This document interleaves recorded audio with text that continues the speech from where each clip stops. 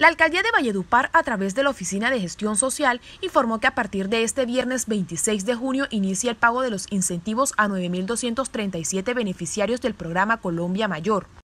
La entrega de estos incentivos, establecida hasta el 10 de julio, se hará únicamente en los puntos efecti autorizados en la zona urbana y rural del municipio, teniendo en cuenta el pico y cédula que se encuentra sujeto a modificaciones debido a la extensión del aislamiento preventivo.